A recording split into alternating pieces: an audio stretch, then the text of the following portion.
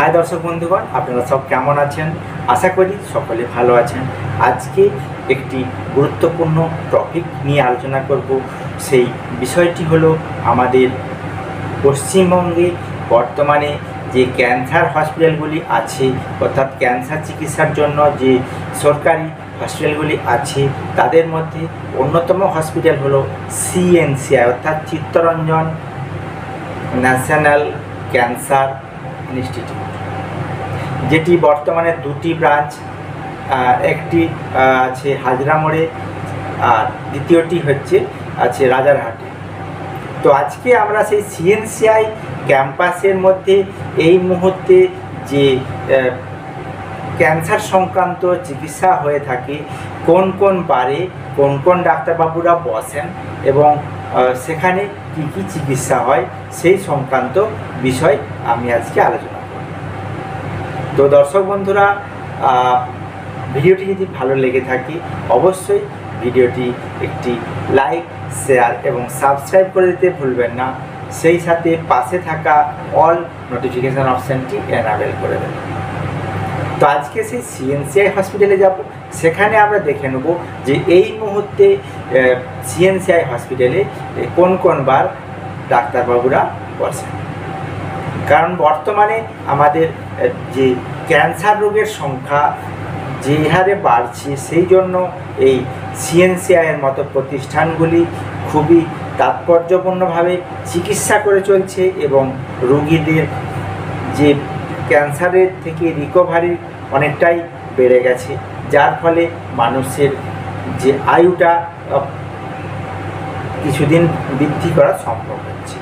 সেই সুচিকিৎসার জন্যই মানুষ দৌড়াদৌড়ি করে এই রকম কর্কট রোগে আক্রান্ত হলে মানুষ কোথায় যাবে বা কোথায় নিয়ে গেলে মানুষটাকে বেশি দিন বাঁচিয়ে রাখতে পারবে, সেটাই ফ্যামিলির কাছে সবথেকে বড় চ্যালেঞ্জ হয়ে দাঁড়ায়।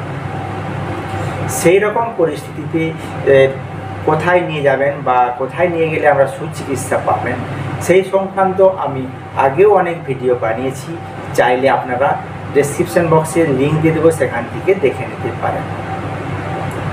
তো আজকে আপনাদের অনুরোধের স্বার্থেই এই ভিডিওটি বানিয়েছি। অনেকেই আপনারা জানতে চেয়েছেন যে সিএনসিআই হসপিটালে এই মুহূর্তে কেমন ভিড় হচ্ছে বা কোন কোন ডিপার্টমেন্টের ডাক্তার কী কী বার বসে, তার উপর ভিডিও বানাতে। তো আজকে সেই সেই উপরেই ভিডিওটি বানাচ্ছি। তো দর্শক বন্ধুগণ, ভিডিওটি দেখতে থাকুন। দর্শক বন্ধুরা, সেই সিএনসিআই নিউ টাউনের যে সেকেন্ড ক্যাম্পাসটি আছে, সেখানে ওপিডিতে যে ডাক্তারবাবুরা বসেন ক্যান্সার ট্রিটমেন্টের জন্য, তাই ওপিডিতে ডাক্তার যে বসেন, সেখানে টাইমিংটি সকাল আটটা থেকে রাত্রি দশটা পর্যন্ত, সোম থেকে শনিবার ওখানে বসেন। শুধুমাত্র গভর্নমেন্ট হলিডে এবং সানডে ছাড়া বাকি সব দিন এখানে খোলা থাকে। তো এখানে লিস্ট মানে কোন কোন ডাক্তারবাবুরা এখানে বসেন? ডক্টরের লিস্টটা আমরা আলোচনা করব। List of doctor at Chittaranjan cancer hospital New Town New টাউনের ডক্টর সৌনক মিত্র মুস্তাফি, যেটা হচ্ছে মন্ডে থেকে স্যাটারডে বসেন। Doctor Parthanath, M B B S, Tuesday থেকে ফ্রাইডে বসেন। ডক্টর সুমিতা গুপ্ত। ওয়েডনেসডে এবং স্যাটারডে উনি বসেন। ডক্টর দেবাশিস জাতুই, যেটা হচ্ছে মন্ডে টু থার্সডে বসেন। ডক্টর দীপান্বিতা ব্যানার্জি যিনি বসেন Friday and Monday. DPM doctor Dipa Chakraborty Wednesday to Saturday বসেন। Doctor Aniruddha Sarkar Thursday and Friday বসেন। Doctor Sandip Swarup Mondal Wednesday to Friday উনি বসেন।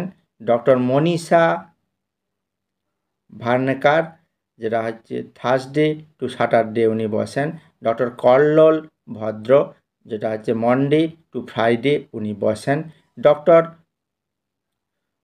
সৌরদীপ গুপ্ত যিনি স্যাটারডে বসেন। ডক্টর শিপর্ণা মণ্ডল যিনি মন্ডে টু ওয়েডনেসডে বসেন। ডক্টর জয়ন্ত চক্রবর্তী যিনি ওয়েডনেসডে টু ফ্রাইডে ওখানে বসেন। ডক্টর জয়দীপ বিশ্বাস যিনি মন্ডে টু থার্সডে ওখানে উনি বসেন। ডক্টর সাগর সেন যিনি ফ্রাইডে টু স্যাটারডে ওখানে বসেন ডক্টর দেবশ্রী লাহেরি যিনি মন্ডে টু স্যাটারডে ওখানে বসেন।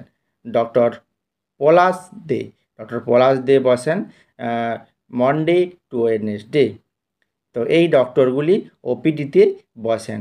ওপিডির টাইমিংটি এখানে বলেছে সোমবার থেকে শনিবার, সকাল দশটা থেকে, সকাল আটটা থেকে রাত্রি দশটা পর্যন্ত এখানে ওপিডি চালু থাকে। তো আপনারা যারা অনেকেই জানতে চেয়েছিলেন যে সিএনসিআর রাজারহাটের ক্যাম্পাসে কোন কোন ডাক্তার কী কী বার বসেন, তো সেইগুলো আমরা এই ভিডিওটির মাধ্যমে তুলে ধরলাম।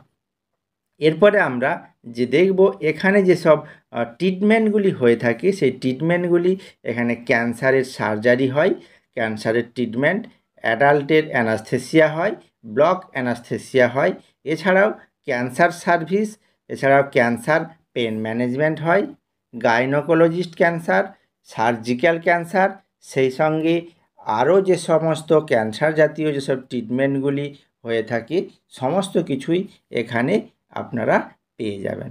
তো আপনারা যারা জানতে চেয়েছিলেন, তো তাদের উদ্দেশ্যে এই ভিডিওটি বানালাম। তো ভিডিওটি আপনাদের কেমন লাগল, অবশ্যই আমাকে কমেন্ট সেকশনে কমেন্ট করে জানাতে ভুলবেন না। বা এই রিলেটেড আরও যদি আপনাদের কোনো ভিডিও প্রয়োজন হয়ে থাকে, অবশ্যই আমাকে কমেন্ট সেকশনে কমেন্ট করতে ভুলবে না। তো পরের ভিডিওতে আবার আপনাদের সাথে দেখা হবে। আজকে এই পর্যন্তই। ধন্যবাদ।